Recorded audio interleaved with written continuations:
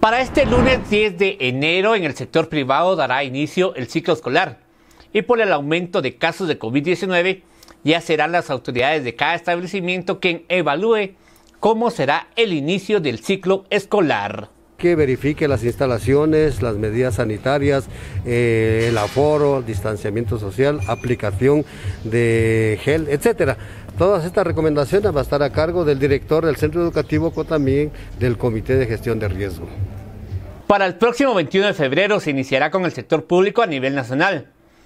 Autoridades afirman que a los estudiantes y docentes no se les exigirá el carnet de vacunación pero el inicio de clases se realizará presencial dependiendo del semáforo COVID para cada municipio. En momento no tenemos ninguna disposición, tanto de parte del Ministerio de Educación como tampoco del Ministerio de Salud.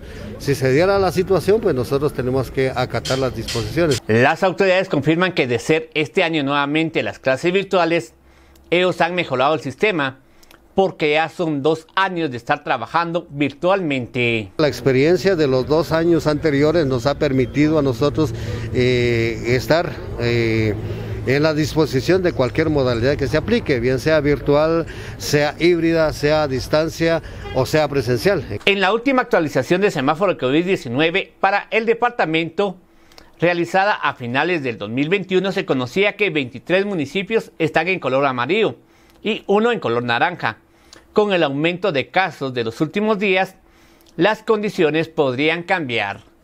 En Quetzaltenango para Canal Antigua, Oscar de Lío.